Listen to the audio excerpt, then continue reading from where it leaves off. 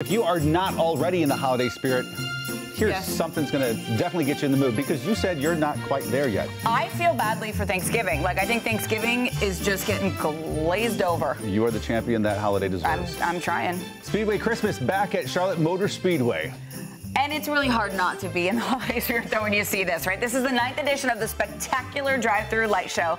It's going to feature more than 3.5 million A lot. lights. Wow. It's a lot of lights. And NBC Charlotte's Hannah Welker is at Speedway this morning with a little preview. And Hannah, that smile says it all. You are in the holiday spirit for sure being there.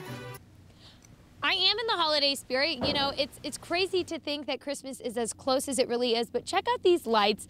The Speedway is still in the process of getting this place ready, but look at this. There is no experience quite like it where you can drive kind of like the NASCAR drivers on the track, experience the lights.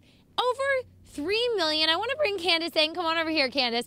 This is every single year, and you said this year in particular, there are a few new things that people could check out. Yes, for the ninth edition of Speedway Christmas, we have over three and a half million lights, including a new theme. It's storybook and lights with your favorite characters, like the three little pigs.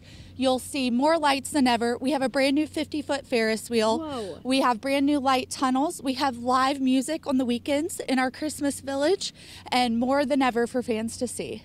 I mean, every time I come out here, I'm amazed at how they kind of transform the track. You see Santa at the very end, all the different decorations. And when you come out here, you could either pay by the carload, pay individually. Tickets start at $20, and the actual drive around starts on the 18th. They have an eggnog jog that starts the day before. So it's something you won't want to miss. It's an experience where you could check out what NASCAR is like by getting in your car and driving the track, and then also being in the holiday spirit.